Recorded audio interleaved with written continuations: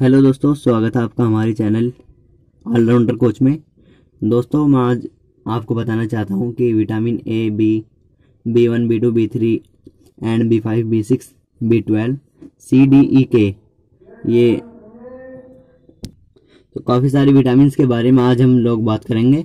तो सबसे पहले आज हम बात करते हैं विटामिन ए के बारे में। विटामिन ए का हम पहले, सबसे पहले इसका नाम जानेंगे। रासायनिक नाम क्या होता है? इसका रासायनिक नाम रेटिनोल होता है। और इसकी कमी से जो होने वाला रोग होता है, उसको हम रतौंधी कहते हैं। और विटामिन ए, जिन चीज़ों में पाया जाता है, खाने की सब्ज़ी हो, फल हो, आदि चीज़ों में पाया जाता है तो वो लाल सब्जियों में पाया जाता है। लगभग लाल फल भी होते हैं, जैसे गाजर वगैरह सब्ज़ी है, फल सब्ज़ी आदि में पाया जाता है विटामिन ए। तो इसके बाद हम बात करते हैं इसकी बी वन की बात करते हैं। सबसे पहले बी वन का रासायनिक नाम है थाइमीन। ये थाइमीन दिया हुआ है और इसकी कमी से जो रोग होता है, उस रोग का नाम बेरी बेरी होता है। और इसके स्रोत जो हैं, वो हरी सब्ज़ी, दाल, खमीर में ये बी वन पाया जाता है। और बी टू में बी टू का रासायनिक नाम राइबोफिल, राइबोफ्लेमिन होता है। और इसकी कमी से जो रोग होता है वो किलोसिस होठों का फट जाना। ये किलोसिस नामक रोग हो जाता है, इससे होठ फट जाते हैं। और इसके स्रोत जो होते हैं, वो चावल की भूसी जो होती है, दूध, पनीर, अंडा आदि चीज़ों में पाया जाता है। उसके बाद हम बात करते हैं बी थ्री के बाद। बी थ्री में इसका रासायनिक नाम इसका रासायनिक नाम पेंटाथेनिक अम्ल होता है। और इसकी कमी से जो रोग होता है, वो डर्मेटाइटिस वृद्धि रुकना जब किसी व्यक्ति की वृद्धि रुक जाती है तो उसकी कमी यही होती है कि विटामिन बी थ्री का वो शिकार है विटामिन बी थ्री की इसमें ज़्यादा कमी है। तो डर्मेटाइटिस नामक रोग हो जाता है, चर्म रोग कहते हैं जिसे हम। चर्म रोग के नाम से भी जाना जाता है। और ये, इसके स्रोत जो हैं, वो यीस्ट यानी खमीर जो होता है, खमीर सभी सामान्य खाद्य पदार्थों में पाया जाता है बी थ्री उसके बाद बी फाइव बी फाइव का रासायनिक नाम निकोटीनिक अम्ल होता है। और इसकी कमी से जो रोग होता है, वो मानसिक असंतुलन, त्वचा संबंधी रोग। मानसिक असंतुलन यानी कि दिमाग का कुछ ऐसा ही बहुलापन थोड़ा बहुत पागलपन जो होता है, वो मानसिक संतुलन बिगड़ जाना होता है। और त्वचा संबंधी रोग जैसे त्वचा का फटना और त्वचा जैसे रूसी सी आ जाती है हमारी त्वचा पर खुश्की आ जाती है जिसे कहते हैं तो उसकी कमी से रोग हो जाता है। और ये दाल, दूध, इसका स्रोत है, ये दाल और दूध में पाया जाता है बी फाइव इसके बाद बी सिक्स है पायरीडोक्सिन इसका रासायनिक नाम है पायरीडोक्सिन और जो इसकी कमी से रोग हो जाता है वो एमीनिया नींद ना आना। सामान्य दुर्बलता। जब किसी व्यक्ति को नींद नहीं आती है तो उसमें बी सिक्स की कमी हो जाती है।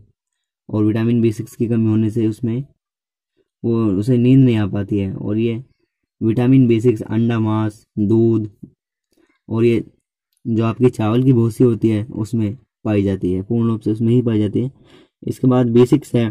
बी सिक्स का रासायनिक नाम साइनोकोबाल। साइनोकोबाल एमीन होता है इसका नाम, और जो इसकी कमी से होने वाले रोग हैं, वो परनीसियन एनीमिया, जो परनीसियन एनीमिया जीव व मुँह में छाले हो जाते हैं। कभी कभी आपने देखा होता कि हमसे खाना भी नहीं खाया जाता है और छाले हो जाते हैं इतने हमारे मुँह में तो यही कारण है कि B six B twelve B twelve की कमी आ जाती है। और ये इसके स्रोत जो हैं, वो दूध अंडा जिगर मांस, ये इसके स्रोत होते हैं। और विटामिन सी अब बात करते हैं विटामिन सी की। विटामिन सी का रासायनिक नाम एस्कोर्बिक अम्ल होता है। और जो इसकी कमी से होने वाला रोग है, हम उसको स्कर्वी नामक नाम से जानते हैं।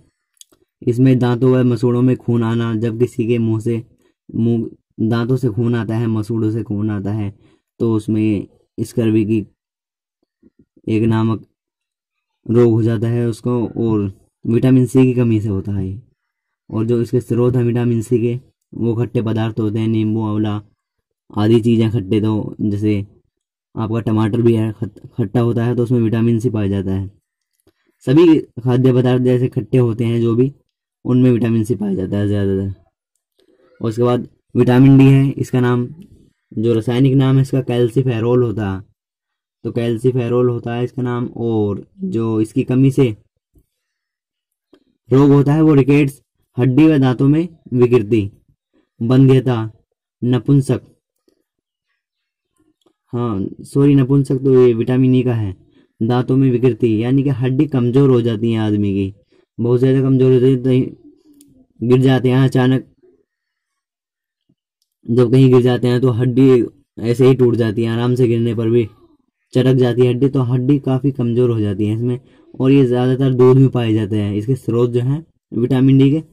वो दूध में पाए जाते हैं और मांस में अंडा मछली आदि इसके स्रोत हैं। इसके बाद विटामिन है। विटामिन ई, इसका रासायनिक नाम टोकोफेरोल्स होता है और इसकी जो कमी से रोग होता है वो बंध्यता नपुंसक रोग हो जाता है। नपुंसक नामक रोग हो जाता है और इसके स्रोत जो होते हैं वो हरी सब्ज़ी, तेल, गेहूँ जंतुओं तक मतलब जंतुओं का मांस मादे में पाया जाता है। और विटामिन के विटामिन के फाइलोक्विनोन। इसका रासायनिक नाम है फाइलोक्विनोन।